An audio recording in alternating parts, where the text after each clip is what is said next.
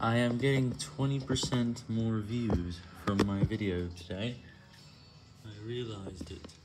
20% more people are watching that video because of the links that I sent today, and most of it is from Aspen.